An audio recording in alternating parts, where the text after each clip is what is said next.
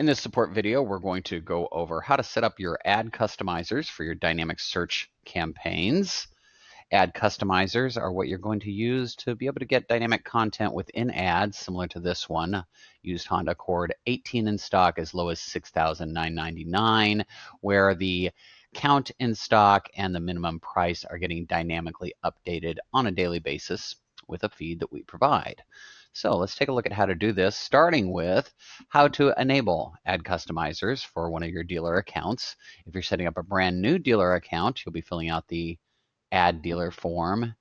And when you are selecting to have dynamic search enabled, you also have the option to enable ad customizers. And that's essentially all you have to do to have ad customizers included in a new dealer account.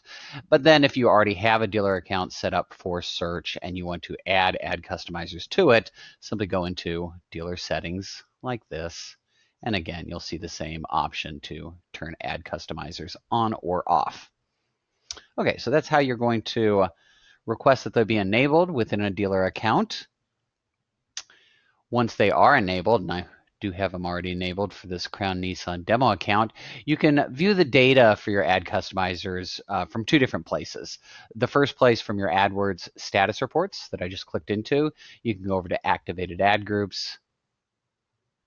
And along with a list of all of the ad groups that are enabled, you will see two columns for vehicle count and lowest price with your ad customizer information. And of course, we always have the link there so you can quickly click and check to confirm that it is showing the right count and minimum price for each of your ad groups. You can also view the ad customizer data from the inventory feeds tab from where you would access your AdWords ad customizer feed. So I'll just go in and view the feed data for this one and you'll see essentially the same thing that we saw in the AdWords status reports. Okay, so that's how you can enable and review your ad customizer data. To set these up in AdWords, it's actually quite simple. You're going to want to go into your AdWords account and go down to in the new interface business data and you're just going to add a new feed. Now I do ha already have one ad customizer uh, feed in here called vehicles. So I'm going to set up a second one rather than replacing that one. But you're going to get the option to create a new feed.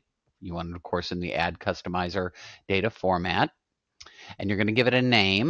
Now, I do recommend that you do use the name vehicles for one reason and one reason only. In our help documentation, you'll see in our examples that we are using some uh, parameters here to insert in your ads where we do have the business feed named vehicles. So if one of the campaign managers from your organization is looking at this help doc and might be copying and pasting directly from this into your ads or into the campaign builder, it's going to be assuming that your feed was named vehicles. So for that reason, it might be uh, better and easier for everybody on your side if you go, go ahead and name it vehicles. But since I already have one called vehicles, I'm just going to call this one vehicles 2. And then you're going to choose a starting file. And you can get a starting file again from the support documentation. Notice I'm in the inventory monitor, then within dynamic search. And the last thing there in dynamic search is ad customizers. And you can see right down here in section 1C, we do have a link to download the Ad Customizers initial feed. And so if I do that, and I'll go ahead and do it and open it up to let you take a look, that this is really nothing more than the headers that's going to define the variable names for minimum price and count. That's all it is. So I'm going to go ahead and shut that back down. But when we go in here to choose our file, I've already got this saved. Here's my ad customizer initial feed that I saved from where when I downloaded it from the help documentation. And I'm just going to go ahead and apply that, which again is doing nothing more than uploading the headers for that. So now it has defined the minimum price and count field names. Once this is done, you can move over to schedules. create a new schedule, select your source. We want that to be HTTPS. And then come back to the dealer details here and you've got your AdWords ad customizer feed link right here. So simply copy the feed link over here and paste that into the source URL. You will need to select a frequency. We do recommend doing it more than every 24 hours. We're only updating the, the feed uh, once per day. However, AdWords does not say when during the 24 hour period that they are going to refetch the data. So I'd recommend doing every 6 or 12 hours just to make sure they don't accidentally pull that feed right before it gets updated for the next day. But essentially that's it. You, you have inserted the feed link, selected your frequency. I went ahead and saved that. And you could just wait until the next automatic update, or you can click the update now to make that happen right away. But as far as integrating the count and minimum price data from your inventory to your AdWords account, your work is complete here. And now you can move on to the next stage of actually setting up some ads that use this ad customizer data. I'm going to go back in here to the data tab. And if we do a refresh, we might be able to see the data in there already.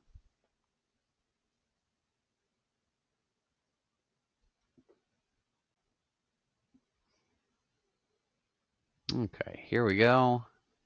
And we do have the data and it should match up with exactly what we saw in the AdWords status reports right over here. Okay, so you're essentially done. Now to uh, create ads using this the the ad customizer data, you are going to follow the format that I was just recently showing you down here in the help documentations under step two, create your ads. Um, we're going to be able to support two variables here, the count and the minimum price. And the format of these goes essentially squiggly bracket equals, and then you put the name that you gave the business data feed, which is why I recommended you call yours vehicles so it would match the support doc, dot, and then the name of the variable. And again, we have two variable names in here, which you can see in the column headers, min underscore price and count. So essentially, back to the help docs, these are the two things you'll stick in the ad, very similar to your dynamic keyword insertion to have that dynamically stuck in. And here's kind of a example of a full ad that has those included. Now you can come up here in your ad AdWords campaign. I'm going to go back to the main campaign section.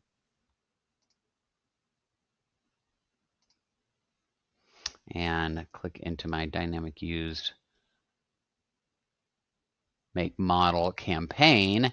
And then um, I'll go into this Dodge Journey, go over to the ads. Okay, I already have one in here um, that uses it, but let me show you by creating another one. So let me copy and edit this one. And I'm going to change this around a little bit, you know, Dodge Journey. And then right here, if you simply just start with a squiggly bracket, it's going to give you a little drop down in here where you can then select the type of information you're trying to insert in here. So we want the ad customizer. And then it's going to give you a list of, okay, which ad customizer feed. I've got two, so I've got two available. We'll select that vehicles two. And then it asks you which variable. And I want the count. And then I'd simply put in stock now. And that's really uh, essentially all you have to do if you're creating these manually. Um, let me move this out of the way. Here we go. Uh, I'm going to save the new ad. You can only halfway preview it in the new interface. So if we kind of take a look at this one we just set up and I click edit, it will give you a preview if you click that but it doesn't actually show you the value from your business data feed in that preview. So not quite as helpful as what we had in the um, older interface, but you do get part of the preview there. Now, of course, you're not going to be wanting to build out the ads manually within your AdWords interface. Instead, you're more likely going to want to use the campaign builder. So let's take a look at the same thing within a campaign builder template. And I've already got one set up for Bob Thomas Ford here in their dynamic new campaign template. So I'll just go in and edit that. And we can take a look down in the ad section. I've got one ad that doesn't use any ad customizers and one ad that does. So you can see right down here, I did essentially the same thing I did manually within the AdWords interface. We've got year model in stock for headline one, and then headline two is going to have that vehicles.count, which is the business data feed name and variable name in stock today. And that's how you're going to insert those into your campaign builder so you can then have it rapidly built out for all those make model or your make model or make model trim combinations that you have set up there. Now I do want to give a couple warnings when using the ad customizers, some problems and uh, issues that you, your new users are likely to run into that I'd like you to avoid if possible. Uh, the first one I already sort of alluded to here. Um, notice I've got two ads here, one that has ad customizers and one that does not have ad customizers. AdWords has a policy that if you do use ad customizers in an ad for an ad group, you must also have one ad that does not use ad customizers. If you do not obey that requirement, your ads will not run. So if I had ad customizers in both of these ads, they would not run because Google insists that you must have at least one that does not have ad customizers in case the data for that particular uh, vehicle or ad group is not available. Now there is one way you can get past this and that is by using a default value. Might be easier for me to show this to you in the AdWords interface. Okay, so notice it's showing us down here that there is another option. We can have the data name dot attribute name, so that means the feed name dot the field name, and then colon default text. If you use some default text, then you no longer are required to have a non-ad customizer ad in the same ad group. So I could do something like um, many.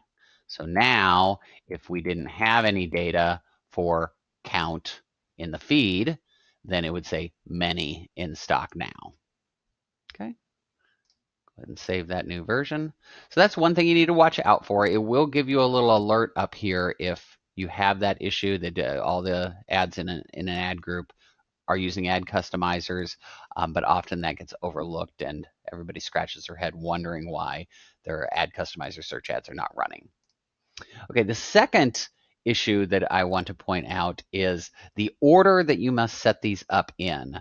When you're using the campaign builder, typically you're probably using the campaign builder to build out all your campaign structure.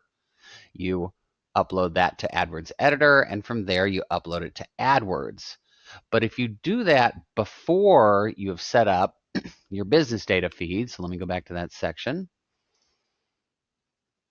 right here, before this is set up, what's going to happen is it's going to see that you have an ad that is looking for a business data feed named vehicles, and it's not going to be there. And so the, every single ad that uses the ad customizers will get rejected when you try to post from AdWords Editor because you have not yet set up that feed within your data feeds and business data and therefore it can't find it and it rejects the ads. And it's a, a little difficult to fix because even after you do add the business feed data in here, AdWords editor is still going to think it's not there and not until you make some changes to every single one of the ads or delete them and start all over will you be able to get those to upload.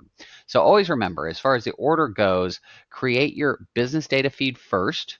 You don't have to have the actual you know feed link available yet. You don't have to have uh, set up the schedules yet, but you at least have to get as far as giving it that name and uploading that initial feed that we got from the help documentation. That's enough to get you past that process. Then you can go and download your bulk sheet for AdWords Editor and post your ads up to AdWords. And that is essentially everything that is necessary to set up your ad customizer feeds within your dynamic search campaigns.